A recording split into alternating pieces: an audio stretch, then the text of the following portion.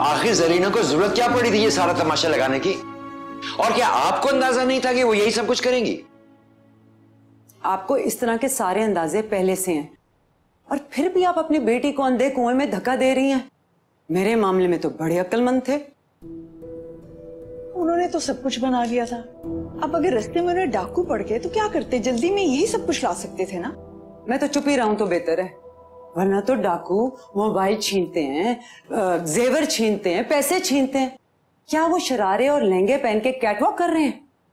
अच्छा क्या करें हम हुँ? शादी रोक दें? लड़की को घर बिठा लें हमेशा के लिए? नहीं फांसी चढ़ा दें उसे। शमो मेरी बात को समझे मेरे दिल में बहुत वसवसे आ रहे हैं। अब भी वक्त है शमो बेटी अपने घर में ही है। अगर तुम्हारी जिद की वजह से कुछ बुरा हुआ तो शादी के बाद सिवाय पछताने के हम और कुछ नहीं कर पाएँगे।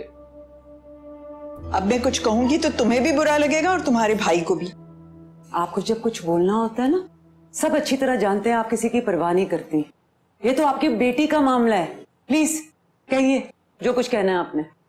माँ बन पाती तो समझ में आता कि बेटियों की ज़िम्मेदारी क्या होती। है रही बात सामिया की तो पहले तुम जरा अपने बारे में तो बताओ कि जब तुमने सफदर से शादी की थी तो तुम्हें पता था कि तुम बेवा हो जाओगी? सफदर अपनी मर्ज़ी से अल्लाह मियाँ को प्यारे नहीं हो, और ना उनको किसी ने कुएँ में धकेला। मगर भाभी, आप सामिया को अपने हाथों से धक्का दे रही हैं।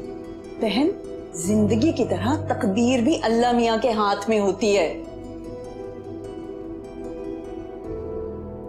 सैफुर रहमान अच्छा लड़का है। सामिया की तवज्जो और प्यार बदल देगा उसे।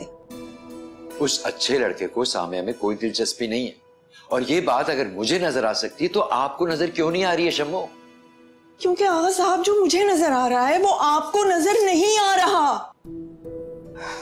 अगर हमने सामिया की मंगनी तोड़ दी तो कल को इन दोनों की शादियाँ भी कहीं पर नहीं होंगी।